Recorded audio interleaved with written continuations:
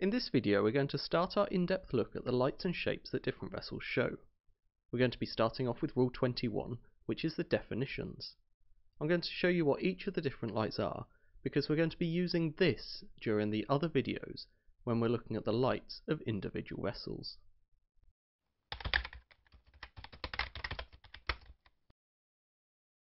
So rule 21, definitions.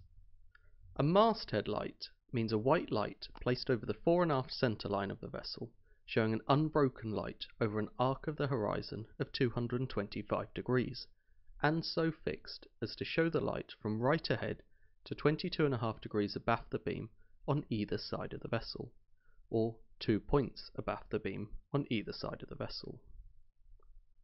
So looking at it on this diagram, we can see the masthead light is a white light, starting two points abaft the beam on the port side, running right the way round to two points abaft the beam on the starboard side.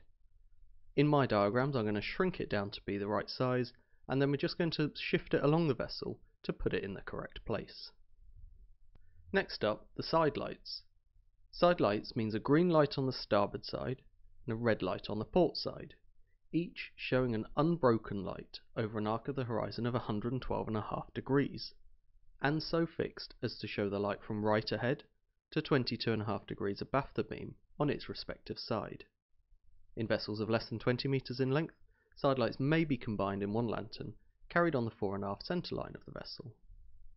So looking at it on the ship, we can see the green starboard light goes from right ahead to two points abaft the beam on the starboard side, and the red port light goes from right ahead to 22.5 degrees abaft the beam on the port side.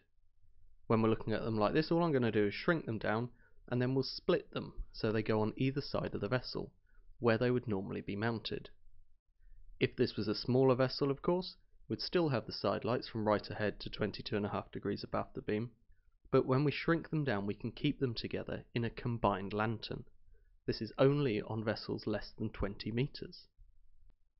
Next we have the stern light, which is a white light placed as nearly as practicable at the stern, showing an unbroken light over an arc of the horizon of 135 degrees, and so fixed to show the light from 67.5 degrees from right aft on each side of the vessel. This is actually just going to join up with those side lights, so it's going to be two points abaft the beam.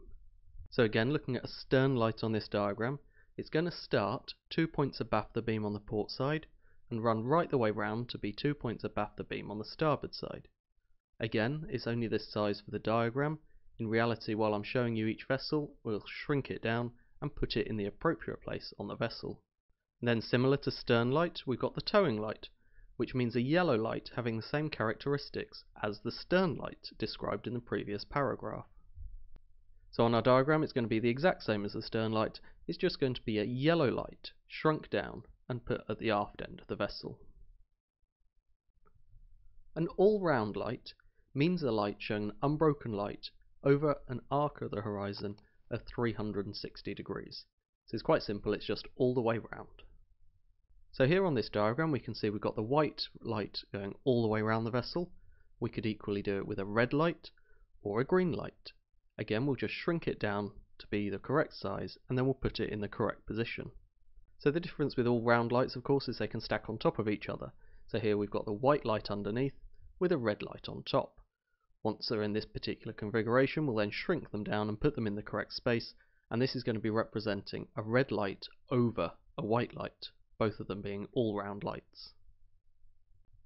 Then the final part of the rule just says a flashing light in this context means a light flashing at regular intervals at a frequency of 120 flashes or more per minute. So again this light is going to be represented in the same way on our diagrams. We'll shrink it down, put it in the right place, and then the light is going to be flashing at that frequency of at least two flashes every second. And that brings us to the end of today's video. Hopefully you found the information useful. It's just going to be acting as a foundation for future videos where we're going to be looking at the lights and shapes of all different sorts of vessels. Until next time, thank you for watching, and goodbye.